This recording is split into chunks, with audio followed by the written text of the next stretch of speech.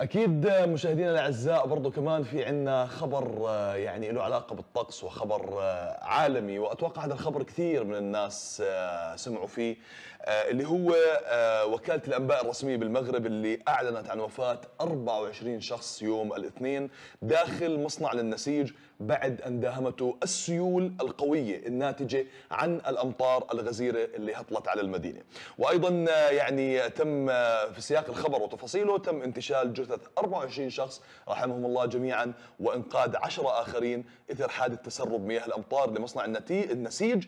وأضافت أن الوحدة الصناعية يعني كانت داخل مرآب تحت الأرض. كانوا موجودين الناس بيشتغلوا بوحدة اسمها الوحدة الصناعية بأحد الكراجات أو أحد خلينا نحكي التسويات تحت الأرض بهذا المصنع وبيعني فجأة صار في تسرب مياه سيول ودهمتهم الأمطار. وللأسف يعني فقد فقدوا أو فقدنا 24 شخص. الله يرحمهم ويصبر اهاليهم وهذا كمان بذكرنا بالحادث اللي صارت خلال الأيام الماضية أيضا بمنطقة الرويشد. إن صح بالضبط المنطقة هي نعم الرويشد وفقدنا على أثرها أربع أشخاص داهمتهم السيول بمركباتهم آه، أو بمركبتهم والله يرحمهم يا رب ويصبر أهلهم جميعا.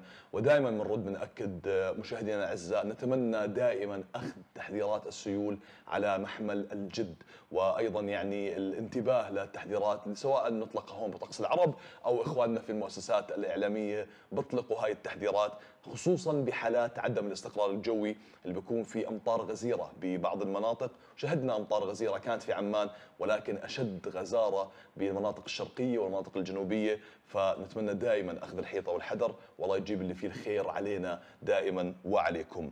وبالنهاية يعني آه بدنا هيك نشكر وجودكم معنا وإن شاء الله آه يوم غد راح نكون معاكم ولكن راح ننتقل لفيديو ونرجع نكمل معاكم. خليكم معنا.